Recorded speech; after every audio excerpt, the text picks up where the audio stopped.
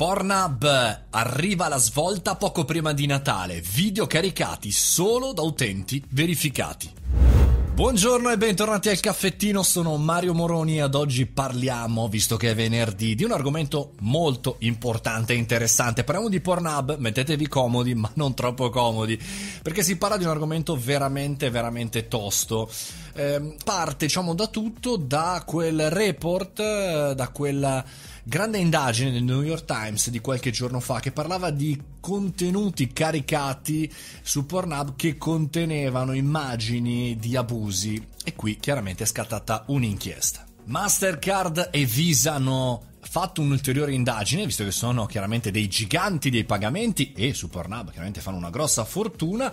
Pensate che Pornhub ha 43 miliardi di utenti nell'ultimo anno Insomma, cosa è successo? È successo che chiaramente le pressioni di questi due giganti hanno portato ai vertici di Pornhub a un cambio epocale, pazzesco. Pensate se accadesse su YouTube, ovvero il caricamento dei contenuti sarà possibile solo ad utenti verificati. Questo è possibile per Pornhub che probabilmente perderà tantissimi eh, contributori amatoriali, chiaramente perché non potranno caricare più i loro contenuti senza essere quindi verificati.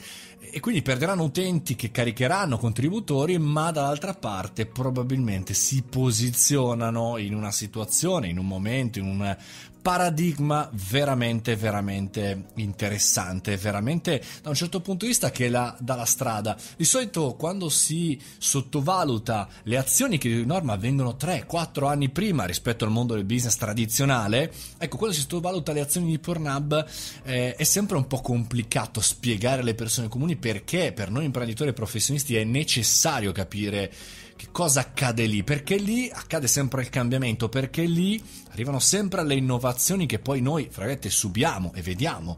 Eh, per quanto riguarda la comunicazione tradizionale, pensate all'algoritmo di compressione di YouTube o dello stesso Netflix, copiato, mutuato da quello eh, dei siti per adulti e poi ancora il business model, ovvero un portale eh, che dà, distribuisce contenuti gratuiti che però eh, grazie a un piccolo numero di utenti che acquistano le parti pro riesce a stare in piedi e riesce a guadagnare dei bei quattrini. Insomma, attenzione a sottovalutare questi incambiamenti e di per sé anche tutto il mondo del hot online. Tutti d'accordo con Pornhub? No, perché l'aggiornamento anche porta a un'interruzione del servizio di PayPal che ha deciso di bloccare la collaborazione perché? Perché sui suoi termini di servizio vieta ogni passaggio, ogni transazione con eh, siti che hanno materiali a servizio o contenuto erotico. Insomma, un grande movimento, un grande cambiamento da prendere seriamente da studiare anche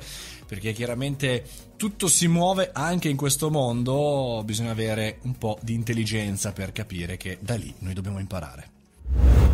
E questa settimana abbiamo concluso il podcast del caffettino. Fate i bravi, mangiate verdure e quindi anche fate l'amore. Ma se volete chiaramente continuare, fare l'amore sicuramente, ma a seguirmi, mi raccomando, ci vediamo lunedì alle 7.30 sul podcast e anche se volete sul canale Telegram. Mario Moroni Canale, ci sentiamo lunedì. Fate i bravi.